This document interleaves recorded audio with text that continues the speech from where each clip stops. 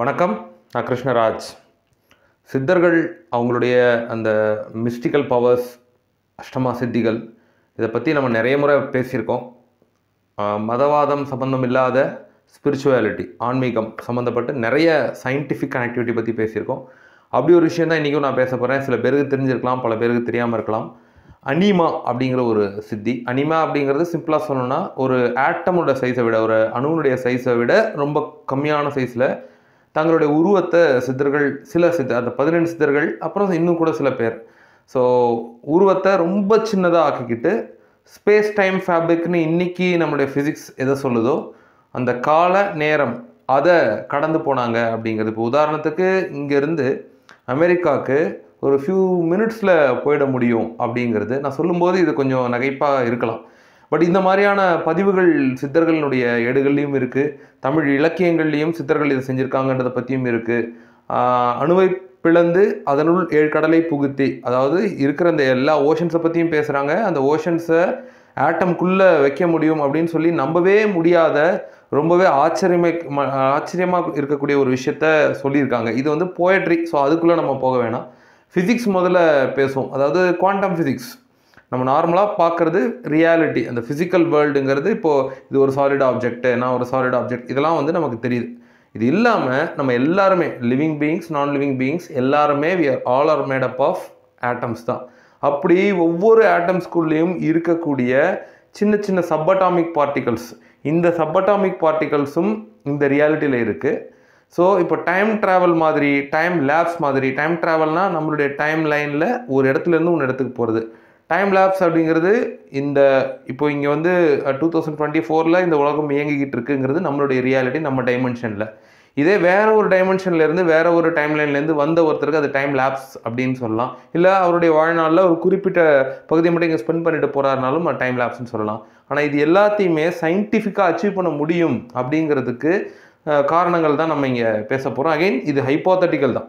இப்போ சயின்டிஃபிக்கலாக சொன்னீங்களே தியரட்டிக்கலாக அது கரெக்டு ஆனால் மெக்கானிக்கலாக நிறைய நம்ம சப்ஸ்கிரைபர்ஸ்லேயே குறிப்பாக இன்னும் சமீப காலத்தில் வந்து டைம் ட்ராவல் பற்றி வீடியோஸ் நீங்கள் பண்ணலை.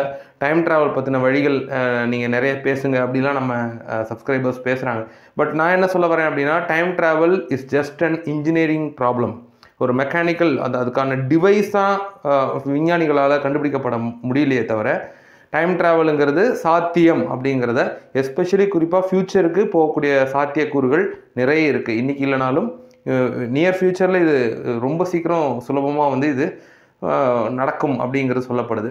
ஸோ அனிமா சித்திக்கு திரும்ப வரும் இப்போ இங்கேருந்து ஒரு குறிப்பிட்ட சித்தர் வந்து குறிப்பிட்ட ஒரு இடத்துல இருந்து இன்னொரு இடத்துக்கு போகணும். இங்கே மறைஞ்சு அங்கே தோன்றணும். இதே விஷயத்த இன்றைக்கி டெலிபோர்ட்டேஷன்னு சொல்கிறாங்க குவாண்டம் டெலிபோர்ட்டேஷன் அப்படிங்கிறது இன்றைக்கி இது வந்து எங்கேயோ எங்கேயோ நம்ம இதுக்கு முன்னாடி நம்ம காலத்தில் இல்லாத ஒரு சித்தர் பதினெண்டு சித்தர்கள் பற்றி தான் பேசணும். கோரக்கர் போகர் திருமூலர் இவங்களை பற்றி தான் பேசணும்னு இல்லை.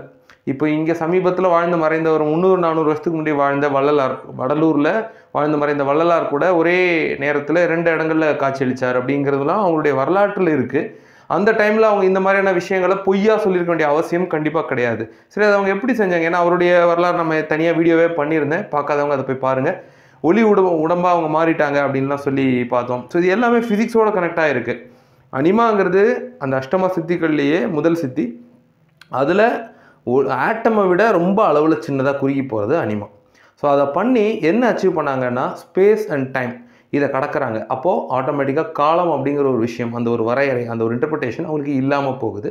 ஸோ இதையே இன்றைக்கி குவாண்டம் ஃபிசிக்ஸ் ஒரு அட்டாமிக் லெவலில் அந்த மைக்ரோஸ்கோபிக் வேர்ல்டில் என்னென்ன நடக்குது? இன்னும் சரியாக சொல்லணும்னா எனர்ஜி வேர்ல்டுன்னு கூட நீங்கள் சிம்பிளாக சொல்லலாம். ஸோ இது வந்து ஃபிசிக்கல் வேர்ல்டு அது வந்து எனர்ஜி வேர்ல்டு ஆட்டம்ஸ் இல்லை சப்பட்டாமிக் பார்ட்டிகள் அளவில் பார்க்கும்போது நிறைய விஷயங்கள் இருக்குது இப்போ இப்போ ஃபோட்டான்ஸ் அப்படிங்கிறது ஒளியினுடைய ஒரு சின்ன மைன்யூட் துகள். அந்த மாதிரி ஒரு சபட்டாமிக் பார்ட்டிகளினுடைய ஒரு குறிப்பிட்ட இடத்துல அதை மறைய வச்சு இன்னொரு இடத்துல தோன்ற வைக்கணும் அப்படின்னா அந்த பார்ட்டிகளை இரண்டாக பிரித்து ஒரு இடத்துல இதை எக்ஸைட் பண்ணுறது மூலமாக இன்னொரு இடத்துல அதனுடைய ரெஸ்பான்ஸை கொண்டு வர முடியும்னு சொல்கிறாங்க இதை குவாண்டம் என்டாங்கிள்மெண்ட்டுன்னு சொல்கிறாங்க சரிப்பா எல்லாமே சித்தர்கள் பண்ணிட்டாங்கன்னா ஏன் இப்போ வரைக்கும் அது பயன்பாட்டுக்கு வரல? அது வந்து ரொம்ப ரிலீஜியஸாக அது வந்து ஒரு தேவ ரகசியம். அப்படிலாம் நான் சொல்ல வரல. அப்போது அவங்களுக்கு இதை ஃபிசிக்ஸ் வச்சு ஒரு பௌதீக அடிப்படையில் சொல்லி கொடுத்தாங்களான்னு தெரியாது. அப்போ கல்வி முறையே வேறு மாதிரி இருந்தது. இந்த குலவழி கல்வி குரு கு- குருகுலம் இப்படி தான் இருந்தது. இன்றைக்கி நமக்கு ஒரு இன்வென்ஷன் ஒரு டிஸ்கவரி ஒரு டெக்னாலஜி ஒரு சயின்டிஃபிக் ஒரு அட்வான்ஸ்மெண்ட் வருதுன்னா அதை நம்ம ஸ்கூல்ஸ்லேயும் காலேஜஸ்லேயும் நம்ம படிக்கிறோம் அதை பற்றி தெரிஞ்சுக்கிறோம். இப்படி தான் இப்போ இருக்குது ஸோ இந்த மாதிரி இருக்கிற ஏஜில் இப்போ நாம் பார்க்கக்கூடிய இந்த குவாண்டம் ரியாலிட்டி ரொம்ப லேட்டாக தான் நம்ம இந்த quantum physics or quantum mechanics அப்படிங்கிற விஷயத்த புரிஞ்சுக்க ட்ரை பண்ணுறோம் குவாண்டம் ஃபிசிக்ஸ் இப்போ வரைக்கும் எல்லாருக்குமே புரியாத புதிர் தான் எதனால் இந்த குவாண்டம் இதை வந்து சைனா மாதிரியான நாடுகள் ப்ரூவ் பண்ணியும் இருக்காங்க.